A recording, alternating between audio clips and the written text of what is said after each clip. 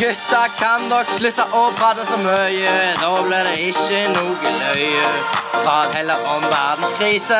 Jeg syns det er mye viktigere, gutter. Jeg er lyng, og alle vet det. Jeg er han som du kan se på TV. Ser til og med bra ut når jeg spiser. Jeg syns det er mye riktigere. Kygo you! Uh, I like it. What, what, what, the way you do it, I like it. My team is extraordinary. I love my team.